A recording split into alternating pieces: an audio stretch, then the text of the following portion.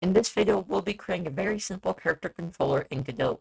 So the first thing you want to do is have a scene that contains a kinematic body, and you actually want the kinematic body to be the root of the scene.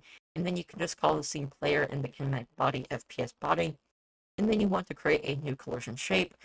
You can like just call it body collision, create a capsule shape, set it to the size that you want it to, and then move it up a little bit.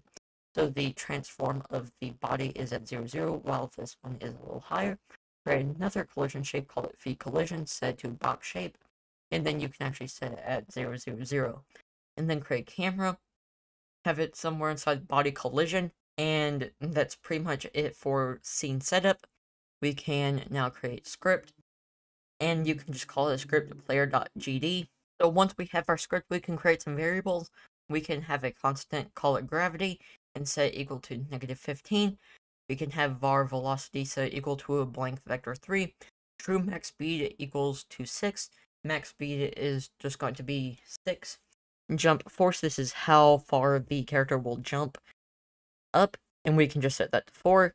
Acceleration is equal to 3. Direction is equal to a blank vector 3.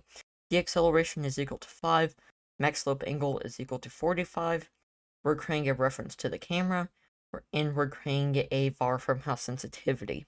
And then in our ready function, we want to set the mouse mode to captured, and this makes the mouse no longer visible and preventing it from moving out the window.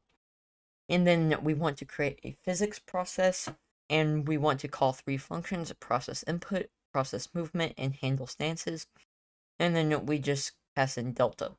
So to actually create those functions, we would have func process input, and then having delta in these parentheses, resetting the direction to a vector 3 every time so it does not linearly increase in speed. And then we're creating a new variable and calling it cam underscore xform, and then we're just saying that to the camera dot get global transform. And then we're also creating another vector 2 and calling it input movement vector. And this will actually handle our input.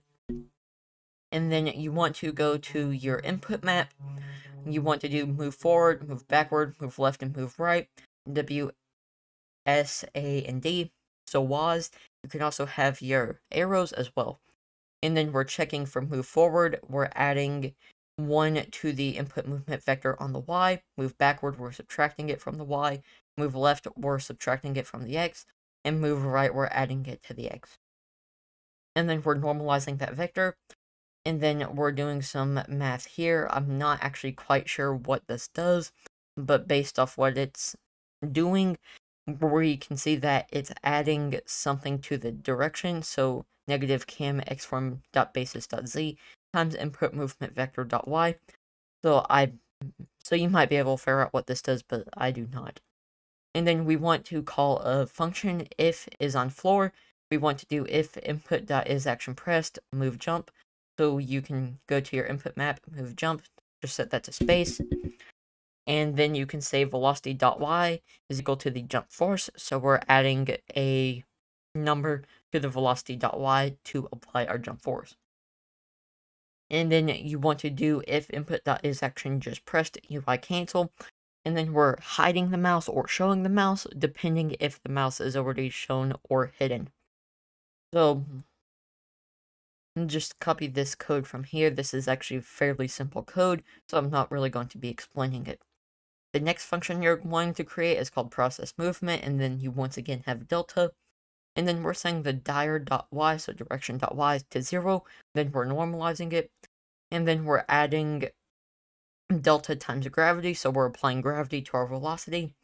And then we're doing, it, we're creating another variable called hvel, and we're just saying it equal to velocity and then we're resetting the y of hvel. And then we create another variable called target, just set equal to dir, also known as direction.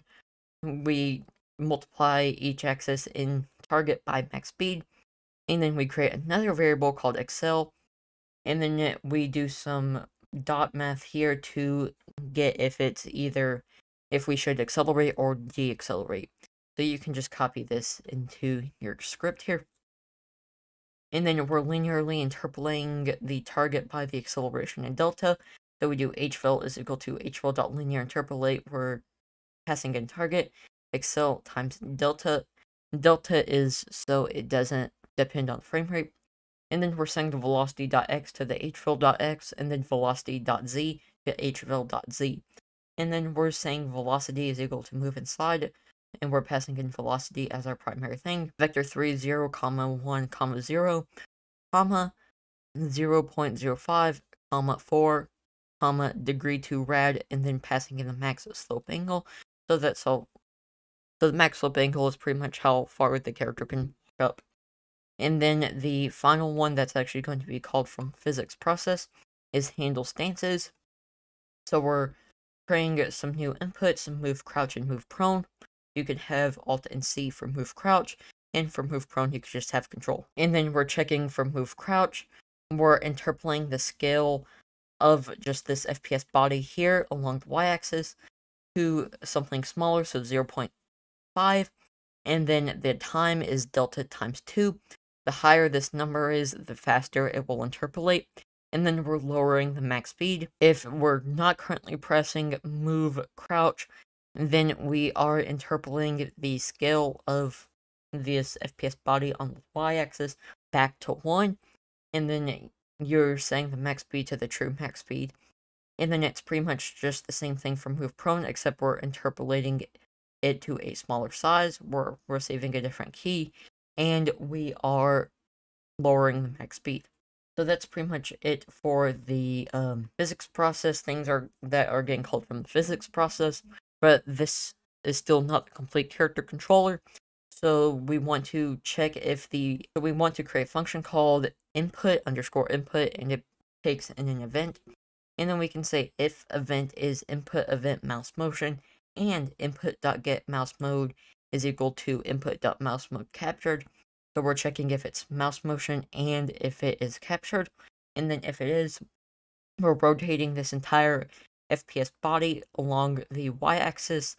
So we're pretty much rotating it around. And then we're saying degree to rad event dot relative dot x times mouse sensitivity times negative 1. And negative 1 prevents it from being reversed. And then if it's vertical mouse motion, then we're saying camera dot rotate underscore x degree to rad event dot relative dot y times mouse sensitivity times negative 1 so we're getting the y-axis of the mouse motion, and then we're clamping the camera rotation by negative 0.9 and by 1, so negative 0.9 will be how far the player can look down, and 1 will be how far it looks up. So if you like this video, be sure to like and subscribe, it helps out the channel, and helps get content like this recommended to others. Fun Noober, out.